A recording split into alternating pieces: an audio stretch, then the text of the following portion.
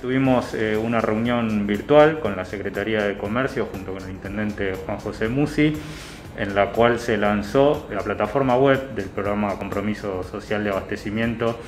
de la Secretaría de Comercio de Nación, del cual este municipio es integrante desde el comienzo. Estamos trabajando muy fuertemente con todas las líneas eh, y los programas que nos acerca la Secretaría de Comercio de Nación. Así que dentro de ese contexto el municipio eh, ya lleva celebrado un primer acuerdo con el mercado central, un segundo acuerdo con el mercado concentrador local de acá de Grazategui y estamos ya en una tercera etapa donde adherimos a 40 verdulerías adentro de este compromiso.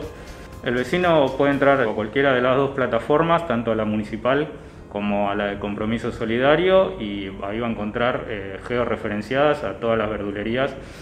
y va a encontrar también el listado de los precios de frutas y verduras actualizados semana a semana, o sea, estos precios